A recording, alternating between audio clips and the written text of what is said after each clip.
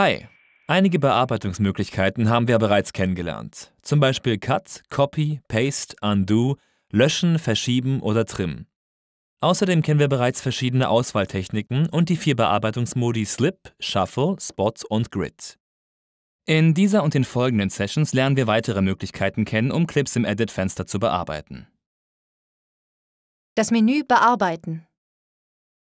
Wir sehen uns in dieser Session das Menü Bearbeiten an. In diesem Menü gibt es verschiedene Funktionen, mit denen man Clips bearbeiten kann. Viele dieser Funktionen sind nur verfügbar, wenn man eine Auswahl getroffen hat. Manche Funktionen sind nur verfügbar, wenn ein ganzer Clip ausgewählt ist und manche nur, wenn ein Teil eines Clips ausgewählt ist. Und bei manchen Funktionen müssen weitere Bedingungen erfüllt sein. Üblicherweise ergibt sich aus dem Kontext, was man auswählen muss, damit die Funktion verfügbar ist. In diesem Video ist immer zu sehen, was gerade ausgewählt ist, wenn ich eine Funktion ausführe. Ich werde das aber nicht jedes Mal eigens dazu sagen. Rückgängig, wiederholen und Auswahl wiederherstellen. Die erste Funktion in diesem Menü kennen wir bereits. Damit macht man immer den letzten Arbeitsschritt rückgängig. Es sind je nach Programmeinstellung maximal 32 Rückgängigschritte möglich. Der Shortcut ist Command Z. Mit Wiederholen kann man das wiederherstellen, was man rückgängig gemacht hat. Beide Funktionen kann man, wie wir bereits gesehen haben, auch über den Rückgängigverlauf ausüben.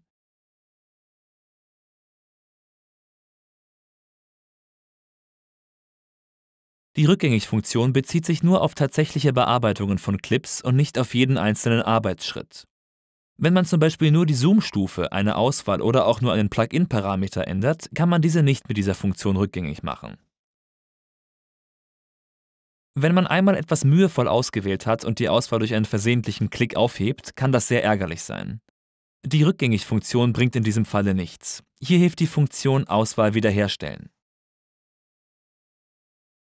Ausschneiden, kopieren, einfügen, löschen. Die Funktionen Ausschneiden, Kopieren und Einfügen haben wir bereits kennengelernt. Die Funktion Löschen haben wir bisher immer mit der Backspace-Taste ausgeführt. Man kann die Funktion aber auch über dieses Menü oder mit dem Shortcut Command B ausführen. Das Ergebnis ist das gleiche. Spezial ausschneiden, Spezial kopieren, Spezial einfügen und Spezial löschen sind Funktionen, die mit dem Clip Gain und der Automation zusammenhängen. Diese Funktion werden wir später noch besprechen. Auswählen.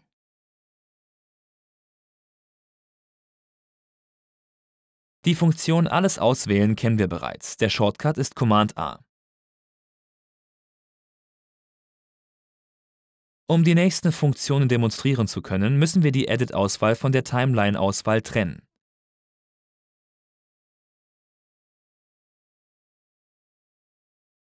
Mit diesen beiden Befehlen kann man je eine der beiden Auswahlen abspielen.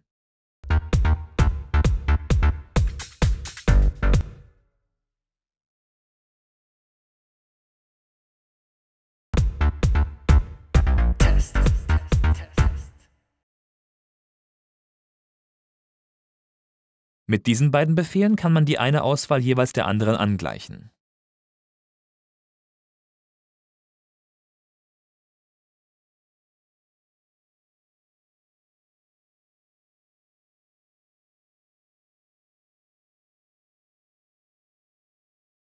Duplizieren, wiederholen, verschieben, Stille einfügen und ausrichten.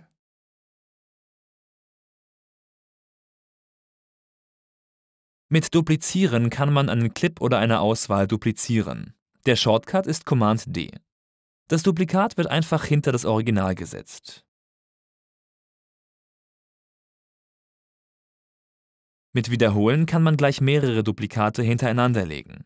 Der Shortcut ist Alt R. Man gibt einfach ein, wie viele Wiederholungen man möchte und drückt OK. Mit dem Befehl Verschieben kann man numerisch einen Wert eingeben, um den ein ausgewählter Clip verschoben werden soll. Der Shortcut ist Alt-H. Hier gibt man die Richtung an und hier den Wert.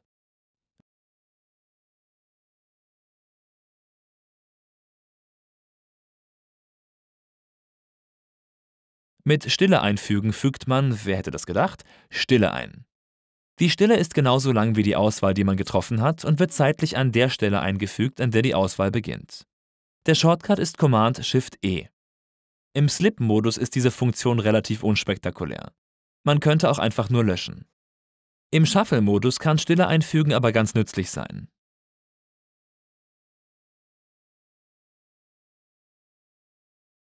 Mit Ausrichten kann man einen Clip so verschieben, dass er an den nächsten oder darauf folgenden Clip angrenzt.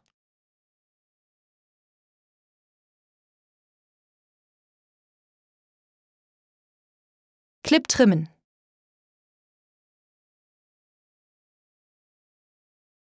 Unter Clip trimmen gibt es verschiedene Funktionen. Mit Bis auf Auswahl wird ein Clip hinten und vorne so verkürzt, dass nur mehr der ausgewählte Bereich übrig bleibt. Der Shortcut hierfür ist Command T.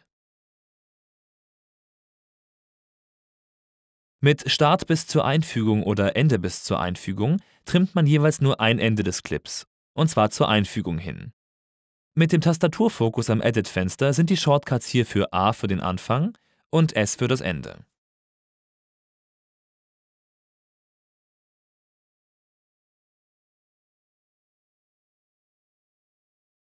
Mit Start bis zum Füllen der Auswahl oder Ende bis zum Füllen der Auswahl wird jeweils der Clip-Anfang oder das Ende bis zur Auswahl hin verlängert.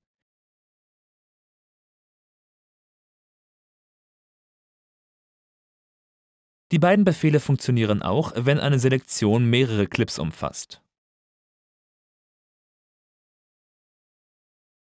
Mit bis zum Füllen der Auswahl werden beide Enden so getrimmt, dass sie die Auswahl nach Möglichkeit ausfüllen. Clip trennen.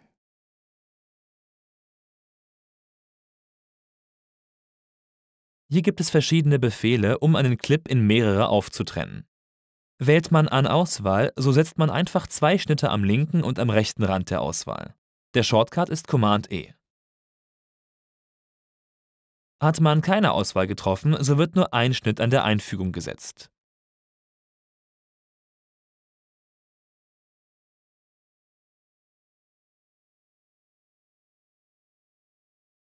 Mit am Raster wird der Clip am eingestellten Raster zerteilt. Hier könnte man einen Wert in Millisekunden eingeben, um den der Clip vor dem Raster zerschnitten wird. Dies kann manchmal nützlich sein, um zu verhindern, dass Attack-Phasen angeschnitten werden.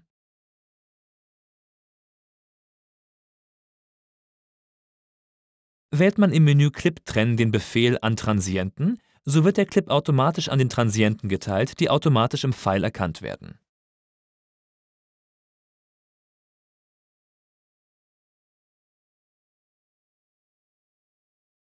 Trennung zusammenfügen, konsolidieren und stummschalten.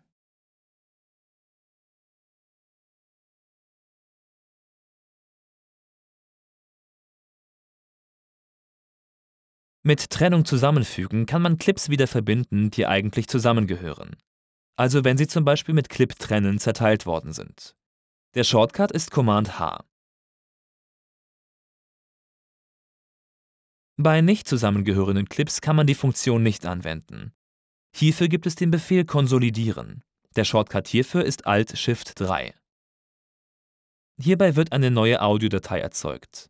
Man kann sie durch Doppelklick mit dem Grabber benennen, dann trägt auch die Audiodatei im Audio-Files-Ordner den Namen. Mit dem Befehl Stummschalten kann man bewirken, dass Clips nicht mehr abgespielt werden. Der Shortcut lautet Command N.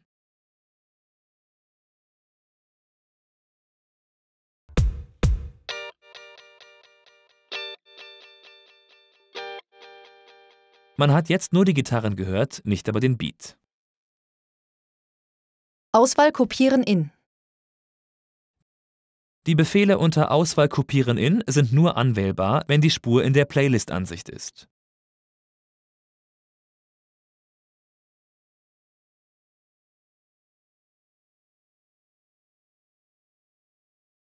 Es steht zur Auswahl Hauptplaylist, Neue Playlist und Playlist-Duplikat.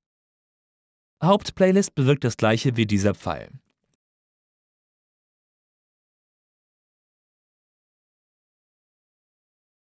Bei Neue Playlist wird eine neue Playlist erzeugt und diese wird automatisch zur Hauptplaylist gemacht.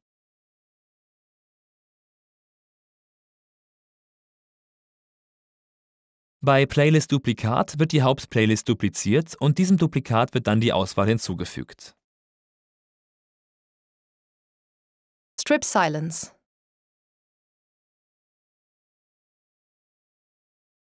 Mit Strip Silence kann man Clips anhand eines Thresholds trennen. Ähnlich wie mit einem Gate, nur dass einzelne Clips entstehen. So kann man stille oder leise Passagen entfernen. Hier stellt man den Threshold ein. Hier kann man einstellen, wie lange der Threshold mindestens unterschritten sein muss, damit der Teil entfernt wird. Im Grunde genommen ist das die Hold-Zeit des Gates. Mit diesen beiden Reglern kann man den Start und das Ende aller Teile gemeinsam verschieben. Klickt man auf Entfernen, so wird die Stille zwischen den einzelnen Teilen entfernt. Klickt man auf Trennen, so wird die Stille nicht gelöscht, sondern es werden nur die entsprechenden Schnitte gesetzt. Mit Extrahieren wird nur die Stille dagelassen und die lauten Teile werden gelöscht. Unter Umbenennen kann man ein Benennungsschema für die neuen Clips definieren.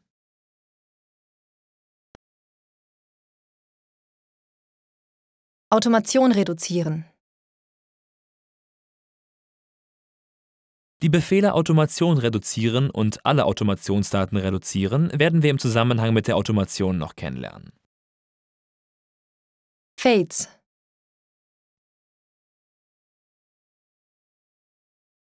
Hier haben wir noch ein paar Funktionen, welche Fades und Crossfades betreffen. Erstellen, löschen, Fade zu Start und Fade zu Ende. Diese werden wir uns nicht im Menü anschauen, sondern nur mit Shortcuts. Man kann lineare Fade-ins und Fade-outs setzen, indem man die Einfügung setzt und dann die Taste D für Fade-in und die Taste G für Fade-out drückt. Mit D macht man einen Fade-in vom Clip-Anfang zur Einfügung, mit G einen Fade-out von der Einfügung zum Clip-Ende. Hierfür muss der Tastaturfokus auf dem Edit-Fenster liegen. Mit der Taste F kann man lineare Fade-ins, Fade-outs und Crossfades setzen, indem man vorher eine Auswahl trifft. Je nachdem, wo man die Auswahl trifft, entsteht ein Fade-in, ein Fade-out oder ein Crossfade. Mit dem Shortcut Command F kommt man in einen Dialog, in dem man den Crossfade genau einstellen kann. Im Detail werden wir uns diese Fenster nicht ansehen. Das kannst du bei Gelegenheit einmal selbst machen.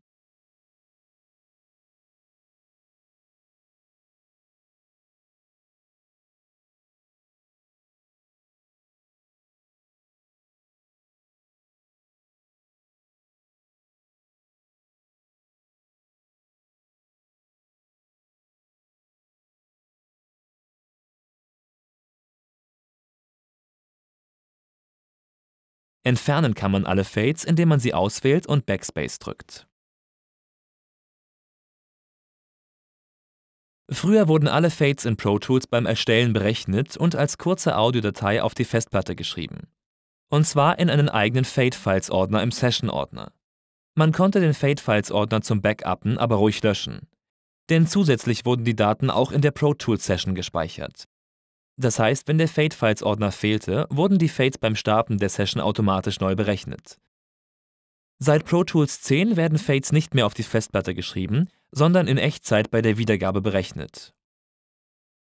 Öffnet man eine alte Pro Tools Session mit Pro Tools 10 oder höher, so werden die Daten über die Fades einfach aus der Session ausgelesen.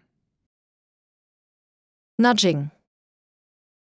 Eine alternative Möglichkeit, einen Clip zu bewegen oder zu trimmen, ist das Nudging. Man kann hier einen Nudge-Wert einstellen, zum Beispiel Sechzehntelnoten. Dieser Wert hat nichts mit dem Raster zu tun. Der Nudge-Wert kann auch eine ganz andere Einheit als der Rasterwert haben. Man kann nun einen Clip auswählen und ihn mit den Tasten Plus und Minus am numerischen Ziffernblock vor- oder zurück verschieben. Wenn man den Tastaturfokus auf das Edit-Fenster legt, so kann man auch die Tasten Komma und Punkt sowie M und Bindestrich verwenden. Mit Komma und Punkt verschiebt man den Clip um den eingestellten Nudge-Wert. Mit den Tasten M und Bindestrich verschiebt man den Clip um den nächstgrößeren Nudge-Wert. In diesem Fall um Achtelnoten. Mit Alt und Plus oder Minus kann man den Clip-Anfang in Nudge-Werten trimmen. Mit Command und Plus oder Minus trimmt man das Clip-Ende.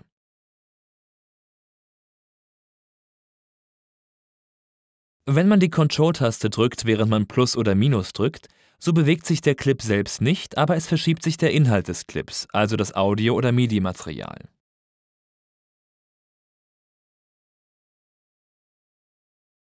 Weitere Shortcuts. Besprechen wir abschließend noch ein paar Shortcuts, die beim Verschieben mit dem Grabber nützlich sein können. Selektiert man einen Clip und klickt dann einen anderen mit gehaltener Control-Taste an, so wird dieser zum Start des markierten Clips verschoben. Dies funktioniert auch, wenn die Clips auf unterschiedlichen Spuren liegen. Wenn man keine Selektion macht, sondern nur die Einfügung setzt, funktioniert das Ganze auch. Wenn man Control und Command drückt, so wird immer das Clipende zur Einfügung oder zum Beginn der Auswahl geschoben.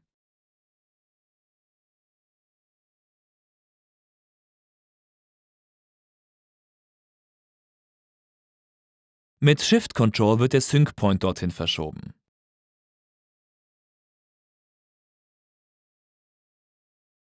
Wenn man einen Clip erst auswählt und ihn dann mit gehaltener Control-Taste verschiebt, so kann man den Clip nur vertikal verschieben. So kann es nicht passieren, dass man ihn aus Versehen horizontal verschiebt, wenn man eigentlich nur die Spur wechseln will. Okay, das war's auch schon wieder für diese Session. Fassen wir das Wichtigste zusammen.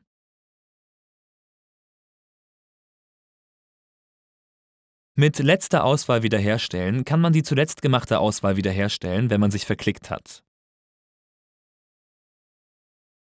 Mit Duplizieren wiederholt man einen Clip einfach.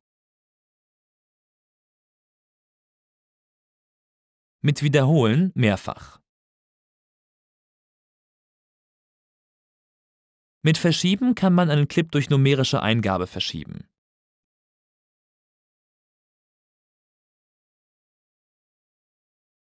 Mit Ausrichten kann man einen Clip so verschieben, dass er an den vorherigen oder den nächsten Clip anschließt.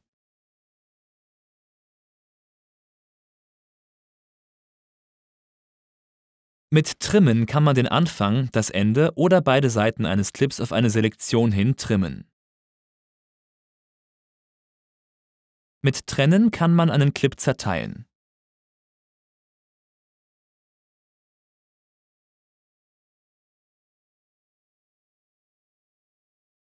Mit Trennung zusammenfügen kann man zerteilte kontinuierliche Clips wieder verbinden.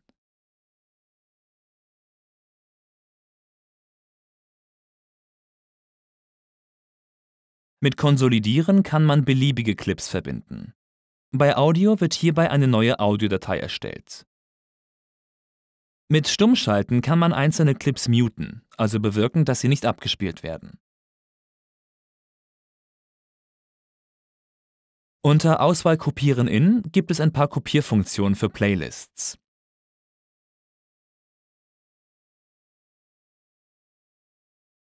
Mit Strip Silence kann man komfortabel Clips anhand eines Thresholds zerteilen.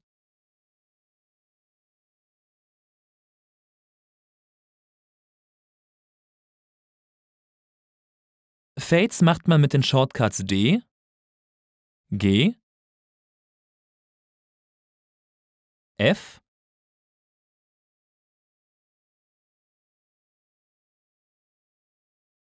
oder Command F. Hier kann man einen Nudge-Wert einstellen. Man kann zum Beispiel Clips in Nudge-Schritten verschieben, indem man die Plus- und Minus-Taste am numerischen Ziffernblock betätigt. Alles klar? Dann danke fürs Zuhören und bis zum nächsten Mal.